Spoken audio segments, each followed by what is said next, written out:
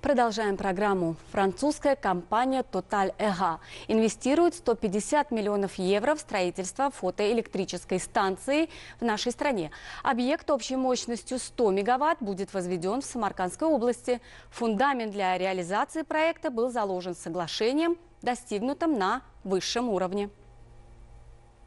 Экономическое чудо как предмет пристального изучения ученых и экспертов. Говоря о нем, они непременно упомянут самые известные французские компании. В топ-10 из них входит Total, нефтегазовая, занимающая четвертое место в мире по объему добычи. Она осуществляет свою деятельность в более чем 130 странах. При этом в период с 2010 до 2020 Total направляет 5 миллиардов долларов на развитие альтернативной энергетики.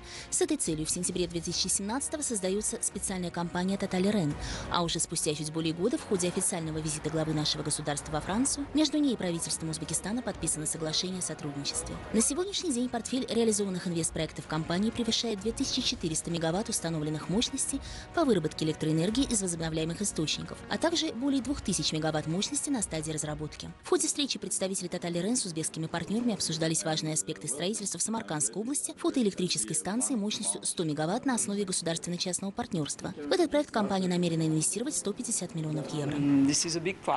Uh, Строительные работы начнутся в первом квартале 2020 года. Вот в эксплуатацию первой фотоэлектрической станции, преобразующей энергию солнца, которого в вашей республике более чем достаточно, в электрическую в этом же периоде 2021 -го.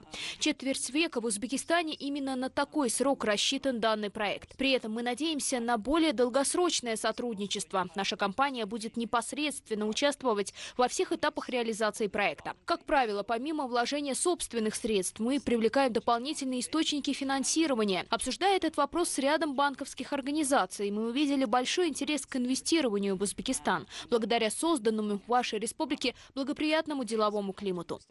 Соглашение, в соответствии с которым узбекская страна будет покупать электроэнергию французской компании, было подписано между акционерным обществом Национальной электрические сети Узбекистана и Total Рен. Стороны говорили о тенденциях мировой энергетики. Так, по прогнозам британского нефтегазового гиганта British Petroleum, до 2030 года потребление энергии на основе ее возобновляемых источников будет расти ежегодно на 8,2%, значительно опережая среднегодовой прирост потребления газа и нефти. Этот тренд обеспечивается государственной политикой развитых стран, предусматривающей экологические ограничения на высокоуглеродную энергетику, энергетику и значительные преференции компаниям, работающим в области альтернативных источников энергии. Все это, а также дорожающая добыча углеводородов, огромный потенциал альтернативной энергетики и существенное удешевление соответствующих технологий определили выбор крупнейших мировых нефтегазовых компаний в пользу развития последней. Подчеркиваю, что успешный опыт ведущих мировых компаний позволит нашей республике диверсифицировать свою деятельность в этой сфере с учетом структурных изменений мировой энергетики и послужит укреплению имиджа на международной арене.